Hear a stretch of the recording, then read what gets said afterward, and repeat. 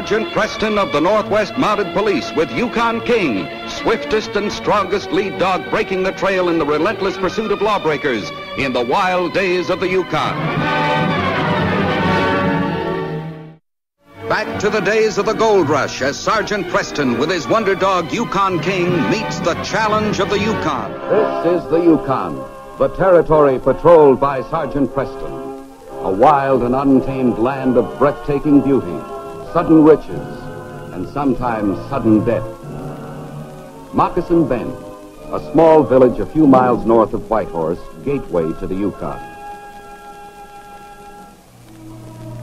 No place in those days of violence and greed was safe from the spoilers who settled among the honest, hard-working miners.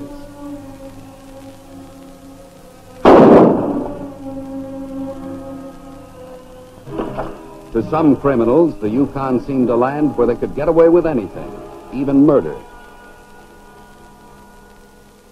But because of the constant vigilance of the Northwest Mounted Police, citizens in the territory came to rely upon these brave men in scarlet, and few crimes went unpunished.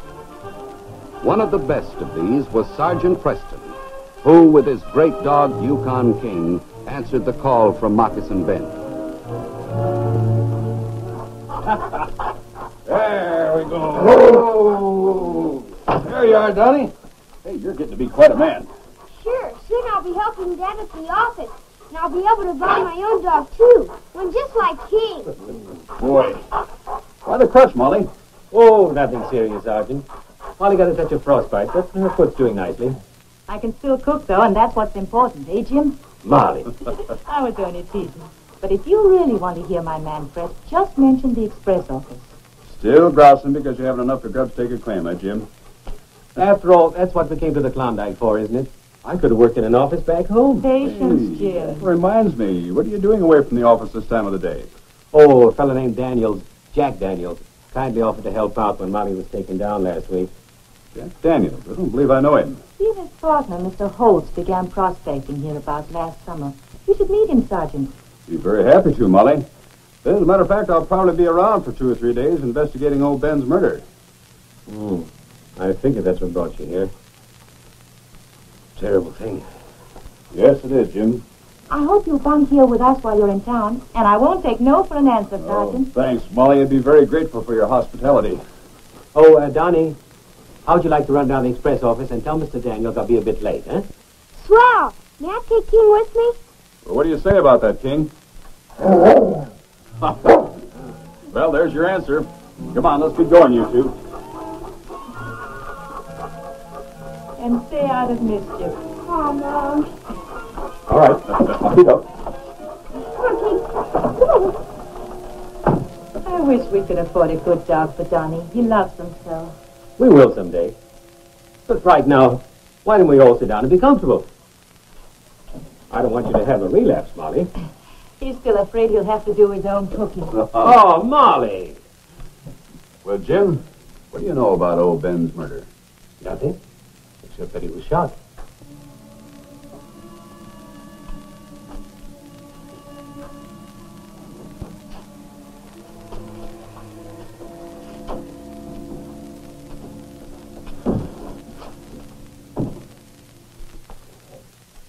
There you are, Daniels.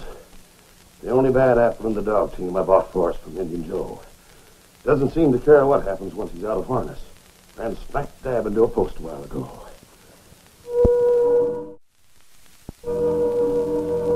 I should have known better than to let you buy a team for us. If this is what I think it is, I'll either have your hide or Indian Joe's or both.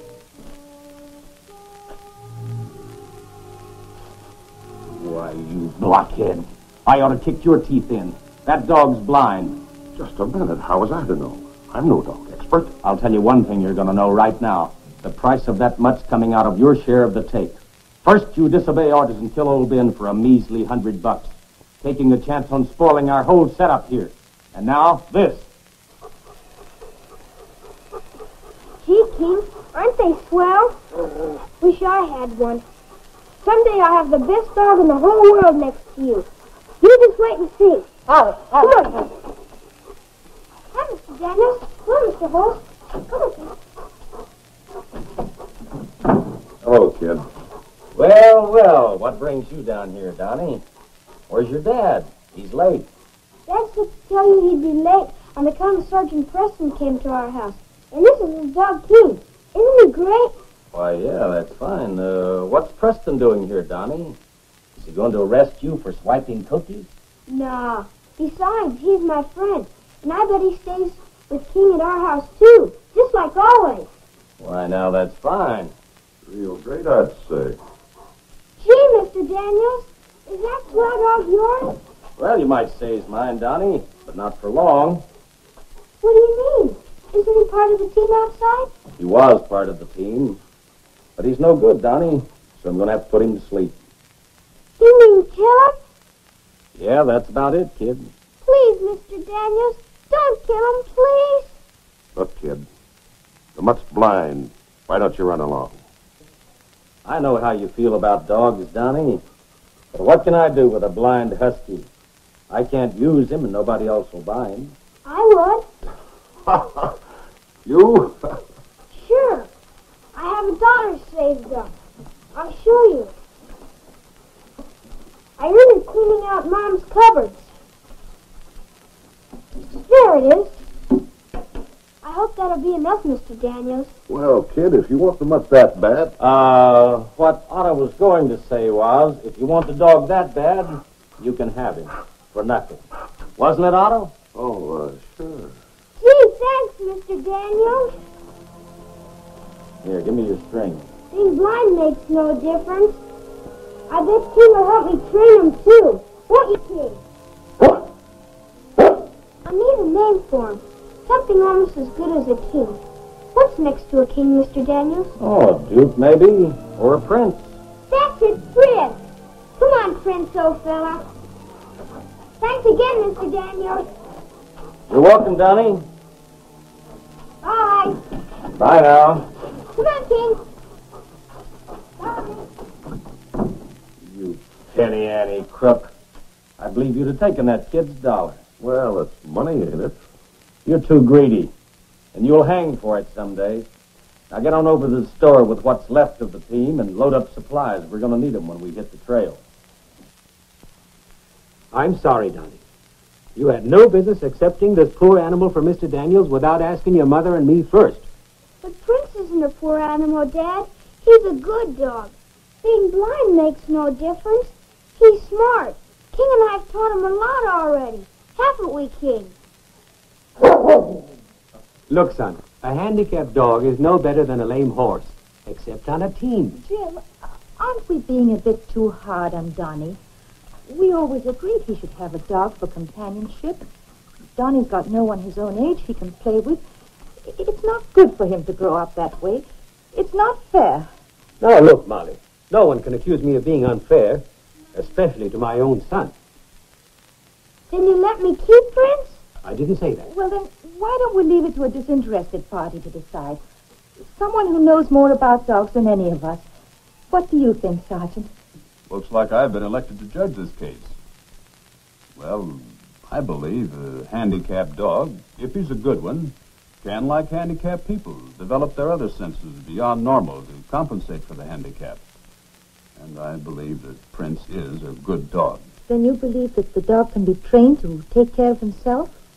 Well, I've been watching him closely since Donnie brought him home. It's my opinion that Prince is a highly intelligent animal. With love and proper training, I think he could become a real asset, in spite of his blindness. In other words, you think we should allow Donnie to keep him? For Donnie's sake as well as the dog, yes. Yippee! We'll do as you suggest, Sergeant. Well, now that that's settled, King and I'd better get started on the job we came here to do. You'll be back in time for supper, won't you, Sergeant? Well, that's problematical, Molly. If I get through in time this evening, I promised Rye Stewart I'd stop out at his place. He asked me to look at one of King's pups he's breaking in as a new lead. I'll get word to you through Jim. Oh, uh, not tonight, Sergeant. Oh, I have a big shipment of gold going out first thing in the morning, and a long monthly report to go with it. Why, it'll take me half the night to get my paperwork in order. Well, I'll get word to you some way, Molly. And Donnie, if your mother will let you, bring Prince by the office, and if King has time, he'll show him a few more pointers. Thanks. Oh, uh, Sergeant, if you see uh, Daniels, will you tell him I'll be right along, please? I'd be glad to.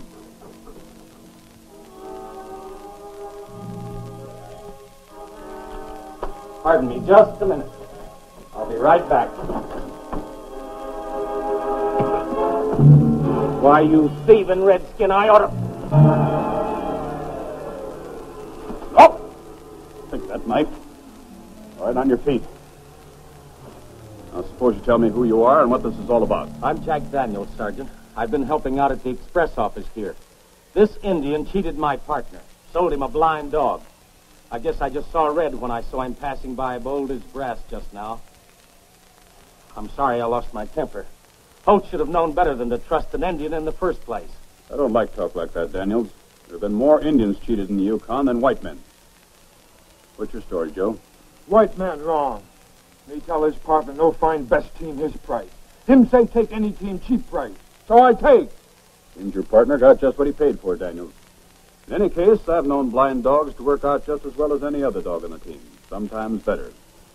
You two shake hands and forget all about this now. Come on.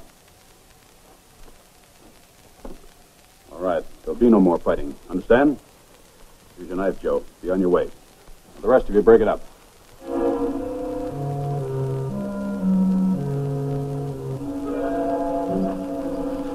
Whoa! What's all the fuss about? You and your cut rate ideas. But never mind that. I've just thought of a plan to get rid of that nosy Mountie and to get even with Indian Joe at the same time, while we make a clean getaway with the gold in the express office. Sounds great if it works. It'll work. You unload this stuff over at our cabin. Meet me at Indian Joe's place in half an hour. If he falls for the idea, I'll tell you all about it when you get there. Okay. But what if the Mountie doesn't swallow your plan? Then there'll be just one less sergeant on the force for us to worry about. Kill him, huh? That suits me fine. He's liable to find out who murdered old Ben. Yes, sir, Daniels. Now you're talking my language. All right, get going. All right, you Huskies. Otto Host went to meet Daniels at Indian Joe's cabin. The Indian hasn't gotten here yet. I've been making myself at home. Come on in. I've been hoping you'd beat Indian Joe here. Why, there ain't anything in here worth taking. Nothing but these. They may come in handy. Quick, hide them in the sled before that Indian gets back. What for? We can't even get a can of beans out of these. No, but they could save our necks. They'll make a good plant. Or in case a certain friend of ours gets too smart. These are nice and quiet. And they belong to Indian Joe. Pretty slick. I'm sure glad you're on my side. Just remember to keep me there. All right, get these hidden before that Indian comes back. Come on, then. Well, hello, Sergeant. Hello, Jim. They're just about the two best dogs ever. Am I glad to see you, Sergeant? Donnie's been on pins and needles waiting for you. I was beginning to think you weren't coming. You don't think I'd disappoint Donnie, do you? Have any luck? No. Complete blank so far. That's why I came back to the office. I'm going back up and look around old Ben's place again. Maybe I'll pick up some evidence on the second look. You mean you and King have to leave again already? No, I'm not taking King on this trip. Bryce Stewart asked me to take his new lead for a sort of fail test. You know, she's one of King's pups. Which reminds me, Donnie, how would you like it if I left King here with you and Prince? Golly Moses, you really will? Sure, why not? After all, King's the best teacher for Prince. How long do you expect to be gone, Sergeant? I don't know, Jim. Be a few hours. If I'm not back by the time you're ready to leave, Donnie, take King home with you. And uh, tell your mother that I won't be home for supper. Sure. Thanks a lot, Sergeant Preston. You're more than welcome, young man. So long, Sergeant. Why don't you stay there, King? You're not going with me this time. Bye. Bye.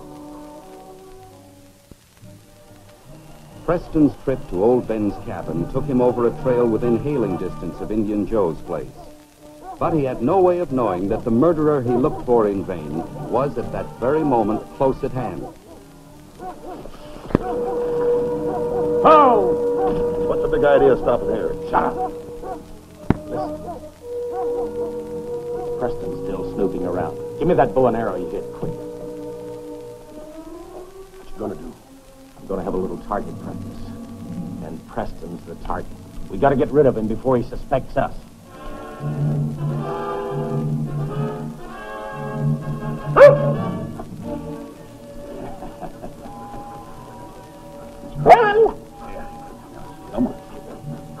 Trusty Trail's playing Hobbity's Trace, Chinook. Hope we don't run into trouble without King's help.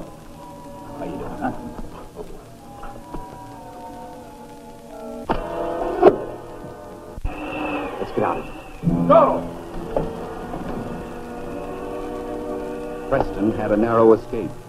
He would have followed the archer, but feared without King's aid he might be ambushed. So he decided to drive on to Ben's cabin for any further clues, then try to locate the arrow's owner later.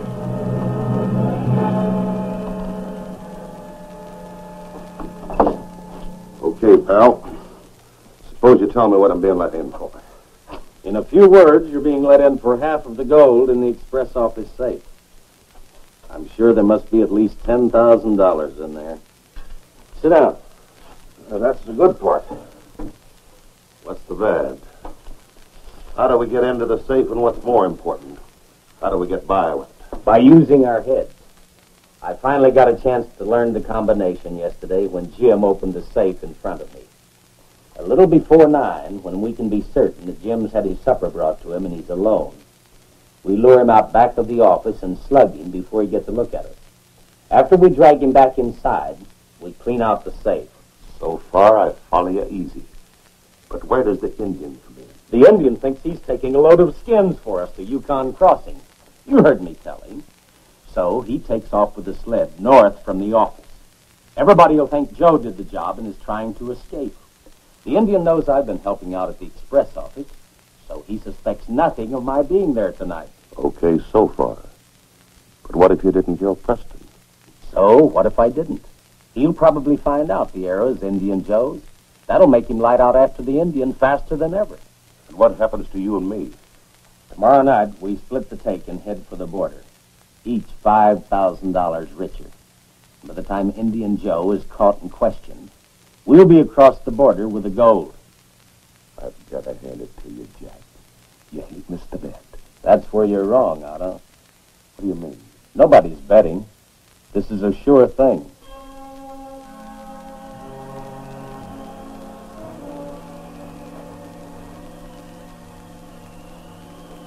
Who is it? Me, Indian Joe.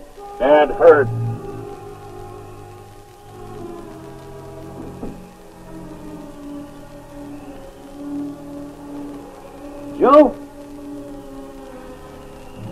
Are you? Quick, let's get him inside before the Indian gets here. What the thieves didn't know was that Molly had delayed sending out Jim's supper, hoping Preston would return first. Nothing. The skins are already loaded, Joe. You remember your instructions? Indian Joe no forget. Me take skins to Yukon Crossing from man at hotel named Smith. Much hurry, no stop. Oh, uh, you pay now? Here you are. And don't forget what else I told you. Smith's in a rush for the skins. You make fast trip on the trail, he'll pay you more gold. That's good. Then get going. And watch out for robbers. Don't stop for anything. Me go fast. No catch Indian Joe. Come on, Otto. Let's make it snappy while the coast is clear.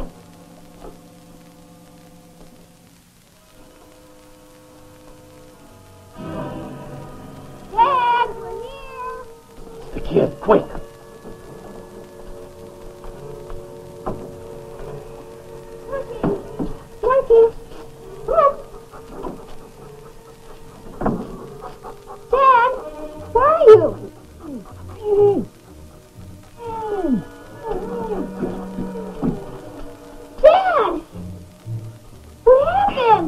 Indian Joe robbed me. Quick, go get Sergeant Preston.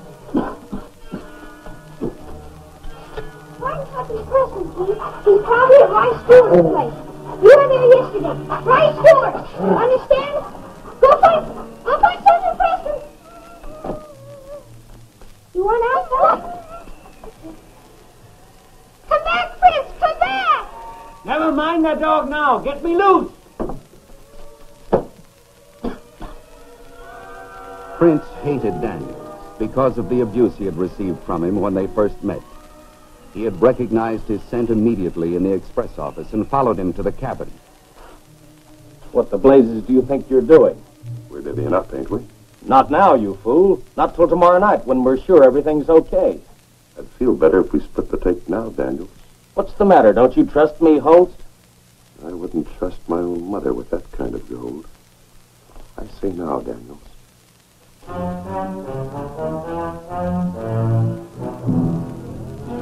Goodness King found me at Rye Stewart's place, Jim.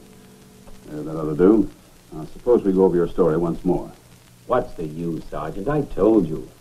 Indian Joe lured me outside there, knocked me out, unlocked that safe, took the gold, and made his getaway in that sled he sold Jack Daniels. I can believe my own eyes and ears, can't I? Perhaps. People have been fooled by their own eyes and ears before. You're just assuming that Indian Joe unlocked that safe. You were unconscious. There's one peculiar fact, though. What's that? There are two sets of heavy footprints leading in the opposite direction taken by the sled. Then there's the matter of prints. What about the dog? He ran away, that's all. Donnie, suppose you tell me once more. What was your dog doing just before he ran off? Well, he came over, sniffed around Dad, then asked me to let him out the back door. I opened the door and he ran out like lightning. Prince has an extraordinary sense of smell because of his handicap. Jim, I don't think the dog ran off. His tracks are following the footprints. I think he's trailing the criminal because it's someone he recognized. Well, what are you going to do? Well, King and I'll track down the dog and the footprints before heading off for the sled. And I'll wire the next town to have them stop Indian Joe. He passes through there. Meanwhile, I, I think you and Donnie should go on home. Come on. Come on, King.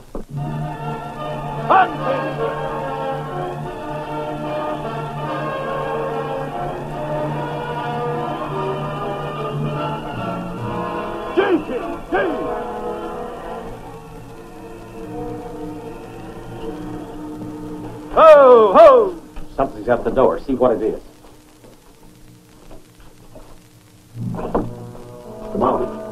On. Keep him busy. Offer to give up. Anything. I'll get rid of him. I want to talk to you, Holt. You and Daniels come out with your hands up. I'm alone, Sergeant. I don't know what this is all about, but come in anyway.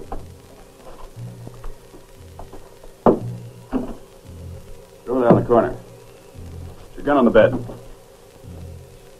Now, where's your partner? Right here.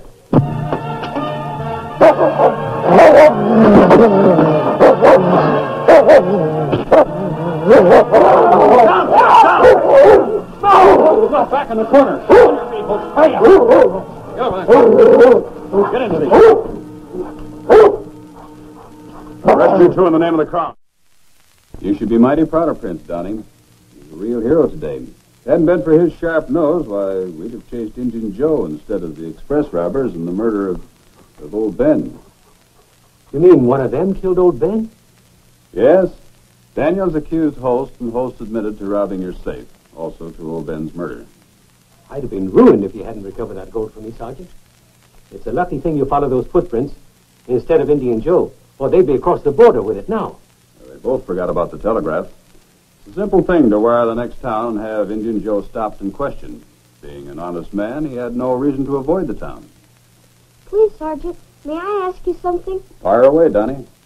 If my dog Prince gets real smart, I mean even smarter than he is now, could he be a Mountie like King? Well, what do you think about that, King? What did King say? Well, I think he thinks that uh, Prince has been acting like one all along. Thanks, King.